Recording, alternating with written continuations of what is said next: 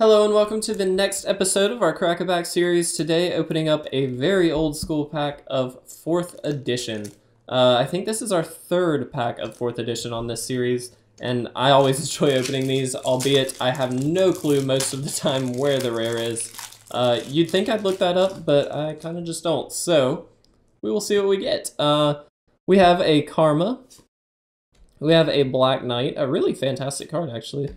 A Life Force uh, of this card, a Scathe Zombies, a Wild Growth, a Blue Elemental Blast, another fantastic card, Disintegrate, another fantastic card, a Mesa Pegasus, a Pit Scorpion, a Venom, a Phantasmal Terrain, a Hurloon Minotaur, a Brainwash, and a Terror, another fantastic card. So, yeah, I've got no clue, guys. Sorry. Uh, I really should have looked this up, but uh, a couple really nice cards in here, actually. We did get, uh, let me pull all the ones to the front. So we did get a Black Knight, which is just a 2-2 for 2, but it has Pro White and First Strike, which is great.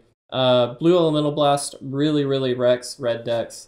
Uh, Disintegrate, just a fantastic burn spell, honestly. And then Terror, a fantastic removal spell. So really not a bad pack. I'm happy to see these. Uh, I always love these old cards and seeing the original art, uh, as well as the old school white border, which I know is a bit of a hot topic for some people, but I like it. So really happy to see this, guys. I hope you enjoyed this one. If you did, make sure to leave a like or a comment down below. Uh, if you'd like to see more of these, make sure to subscribe. We've got tons of them already out and three a week coming your way every single week. So we hope you enjoy these, and we will see you in the next episode. Thanks for watching, guys.